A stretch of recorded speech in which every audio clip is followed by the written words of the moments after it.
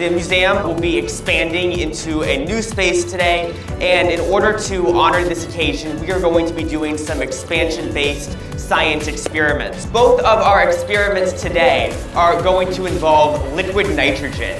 And uh, Matt right here is uh, putting some liquid nitrogen into the trash cans. Liquid nitrogen has a temperature of negative 196 degrees Celsius. We're going to use some hot water to create an expanding mist. We have hot water in each of these buckets.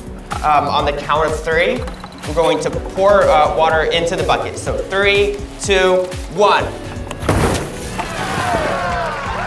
The liquid nitrogen, when it came in contact with the hot water, it produced a vapor, uh, which then uh, quickly condensed back into water droplets, which you saw as a mist. Do you guys want to see another experiment?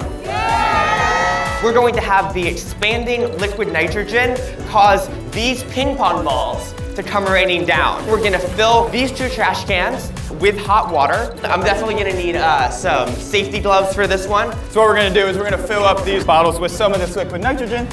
If so what you're seeing is a lot of this steam is coming off of this nitrogen. And what that is, is nitrogen gas that is very quickly evaporating because this nitrogen is about 400 degrees Fahrenheit colder than the surrounding air. All right, and then we're gonna wanna cap this quickly. We're gonna toss it in. I might want to cover your ears. And there you have it. Um, the ping pong balls in the museum just expanded into its new space. What an absolutely amazing way to kick off the celebration of the expansion of the Museum of Discovery and Science. The museum's open 365 days a year, services over 400,000 visitors, and it's not easy. So thank you, and a big round of applause for all of our, our staff and volunteers here. Three, two, one.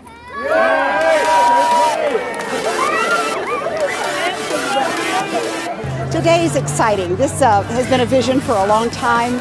Um, it was very important to me as CEO to find a way to kind of bring the museum outdoors because in Florida we can do that so they can enjoy physics and learn about science outdoors in our beautiful Florida weather. I think it's really important that kids learn, you know, inquiry and being able to look at things around them and ask questions and then design uh, experiments and to test uh, what they see. So the Science Park's going to be part of the integral programming. So, you know, when you come to the museum, you might come through and see a program, see an IMAX show, but now with the Science Park, we're going to have the new expanding science show on regular occasions. So it's just another show to come see and experience. So lots of different events happening all throughout the year.